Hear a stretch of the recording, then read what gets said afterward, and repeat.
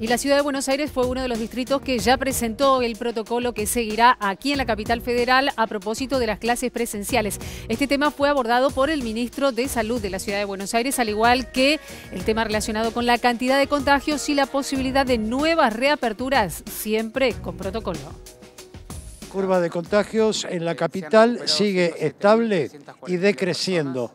Hasta el día de hoy hemos confirmado 133.052 casos totales en la ciudad eh, se han recuperado 107.342 personas.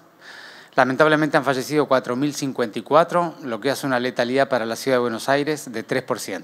Vuelven las clases en la ciudad en forma segmentada, no obligatoria y con estrictísimos protocolos. Primero de todo, por supuesto, están los niños que han perdido su vínculo escolar, el de ellos y el de su familia.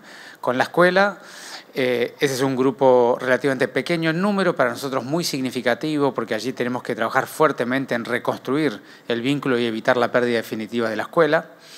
Luego, eh, también los niños que están terminando un ciclo, sobre todo el ciclo del secundario y el ciclo del primario, son momentos muy importantes de la vida, momentos de cierre que requieren un proceso de revinculación y de un, liderazgo y una organización de, de, la escuela y del ámbito educativo para realizarlo de manera apropiada. Y luego, por supuesto, ir avanzando con el resto de los niños.